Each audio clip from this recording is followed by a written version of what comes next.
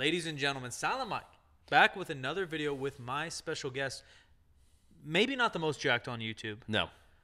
but the most handsome fitness YouTuber to ever grace your Mac or PC. Omar Isuf, Oh My Ass Off, uh, Oh My Jerk Off. There's a lot of variations going on. Obar is buffing. Is I, I just want to correct you. I'm actually the second most handsome uh, YouTuber after uh, Low Carb Corey, the fitness YouTuber who, who uh, most people won't remember. He uh, filmed himself taking a shit and uh, Got deleted? That's, that's it. That's all she wrote. Well, maybe you're the the- second most handsome, but first smartest since you didn't film yourself in the bathroom to get deleted. I was gonna do it, Mike. Well, you and then he did it first. Oh, he stole your idea. Mm-hmm. So he's a liar, a cheater, and he's dirty. And a pumpkin eater. hmm Ladies and gentlemen, today we're going to talk about squat depth.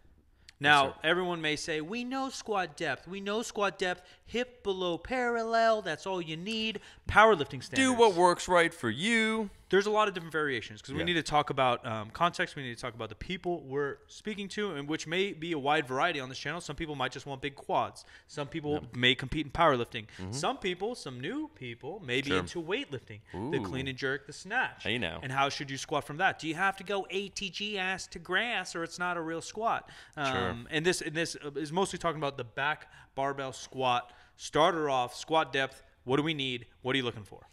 Fantastic question. I think the short answer to that would be it depends upon your goal. And so it's goal specific, and then your body will largely determine ultimately your maximum squat depth. But I think most people, when they first start squatting, they can get lower through mobility, through honestly just practicing the skill. The best way, and one of the best things I recommend for most people, is just one of those. Shout out to Greg Nuckols, the breathing pause squat at the bottom, where you do 10 breaths at the bottom of the squat. Just you start with a bar, nothing crazy, and you get comfortable around there. Uh, you know, working on that uh, abdominal pressure, you're working on thoracic uh, kind of strength. So you're keeping an upright position, you're breathing through the core, um, working on your bracing will allow you to get deeper over time. However, I think you should never squat lower than your actual mobility with proper technique allows. And so it ultimately also depends on the type of squat you do. So I would say for some people, and I've noticed this when they do the low bar squat and they don't have either uh, thoracic mobility or their shoulder mobility, so they don't have it the ability. So they'll try and low bar squat, but they don't have the external rotation necessary in the shoulders, so they'll puff their chest out, kind of peacock style. And as a result of that, when you extend too much with one area of your spine, then your lower lumbar area will tuck. And so you'll get a little bit of that butt wink. Now, is a butt wink inherently bad? Not necessarily, but on some people, on some bodies, it definitely, especially under load, um, you don't, you probably don't want that. And so again, that's why I want to say it's individual specific, but you can work on it over time. And I would say you need the proper depth for your goal. So a weightlifter, by and large, will need a squat lower than a powerlifter because when you catch the clean, if we're talking about a front squat variation, you'd want a front squat basically where you'd bottom out on a clean.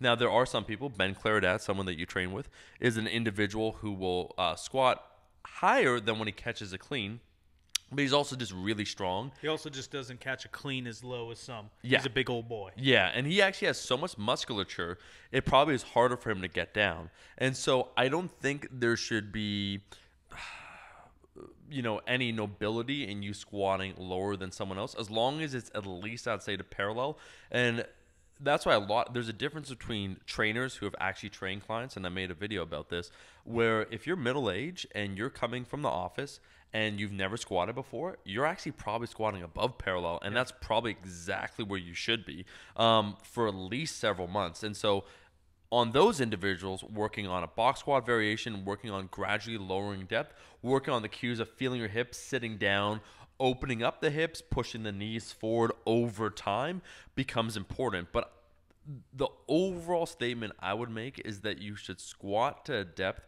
where your technique is on point and you should go as low as possible. I would say, unless your goal is specific to sports. So let's say you're a powerlifter, in- which case you want to go just below parallel, but squat as low as you can with good technique. And most people, that's around parallel to just below parallel. Yeah, even for powerlifters, I think you know. Again, we talk gen pop. You want to go as far as you can control, stay tight, Yep. and be under control of the movement. So some may be a barbell back squat, but if you're a trainer out there, you know a great variation is the box squat. Yeah. Another great variation for gen pop is um, uh, the goblet squat. Yeah. Sometimes when you're Yeah, front oh, yeah. loaded, it's a little easier to go in depth, and same with a high bar squat. A little easier to go in depth than the low bar. Not saying one's better than the other, but for the gen pop, that might be a good start. For the weightlifter, again, maybe even the weightlifter and the bodybuilder Mm-hmm. or aesthetic bras, uh, we want to get uh, a lot of load, stimulus, in a greater range of motion. The more greater range of motion, perhaps the more muscle fibers, Mm-hmm. more the maps, more gains we get. So um, there's maybe a reason if you're a bodybuilder to squat full range rather than quarter. And again, with powerlifting, a lot of morphology, which Omar talked about, how you're built is going to dictate not only what it looks like, but how deep you can go. And the th- other factor with depth, in especially powerlifting, weightlifting, squatting is interesting, especially the back uh, the back squat because it is really an accessory movement. Mm-hmm. The back squat is to weightlifting as maybe the row or the chin up is to powerlifting in a way, right? Uh, that's just a random reference. Yeah, yeah. The, Uh, the idea that it is definitely a secondary movement. That Yeah. the goal is to improve the primary movement, and it can really, really help. jerk. Like it's almost necessary to do some kind of back for a powerlifter. Guaranteed to do some kind of back squat for a weightlifter. Um, the powerlifter uh, morphology, hitting depth because that's the rule. Hip below um, the top of your knee. yeah, The third uh, thing is pacing. Some people, as the weights get heavier, the breathing squat's a great way to start building up confidence in the hole. Yeah. But as you start an, uh, adding load, a lot of people will cut short because they're scared. There's No- a little yeah, bit of a, a roller coaster feel to hit that depth. Yeah. And the biggest thing to me is I call it pacing or rhythm. Finding a flow and control. Be quick, but don't hurry is something I use. Yep. Move as fast as you can while maintaining control all the way to depth, all the way out. yeah. I was gonna say that uh, I've never noticed an individual pretty much who, as the weight gets heavier and heavier, we'll squat faster on the way down. you Yeah, know? yeah. Uh, pretty much people get Yeah. a little bit more hesitant. Maybe so- maybe yeah. at the highest level. yeah, Yeah, guys, because they know the control, they know the in. rebound they need. Yeah. Yeah.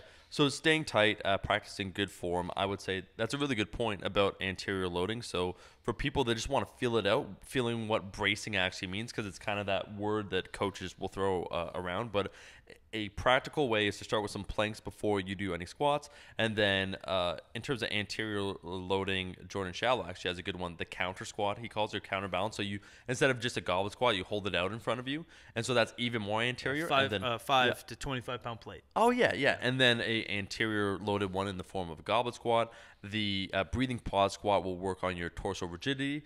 I could say for myself, I am someone who is naturally not that mobile, but I have been able over time just to work on that stuff. Where you know you see some people, uh, as an example, I see uh, the way like let's say an Alan Thrall uh, squats, right, and just the way his hip mechanics move. I'm like that boy's meant to squat. Yeah, you yeah. His femur's a little shorter. Maybe it's just a hair easier. Yeah. It comes a little more natural. I'm a sprinter. Okay, Yeah. you only have to look at the Yeah, a little longer legs. Sprinter But uh, when I first started squatting, my hips jammed up, and Yeah. actually the first time I squatted low bar, um, and I was told I was getting good coaching, but my hip socket actually felt like it was getting jammed into one Yeah, another. I'm some like, people uh, just can't hit depth yeah. in certain stances if they're too wide, Yeah. maybe too narrow.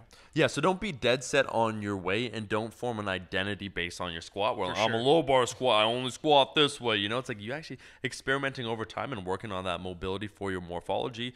I do like that breathing pause squat really for the torso rigidity. So just feeling comfortable down there, or where people might feel too shaky and so subconsciously, uh, subconsciously they squat higher. I think is a good idea. Ladies and gentlemen, ATG, hit parallel, figure it out for yourself. There's some tips. Omar Isuf, you know who he is. You know where to find him. Link in the description. Appreciate you. Catch you in the next one.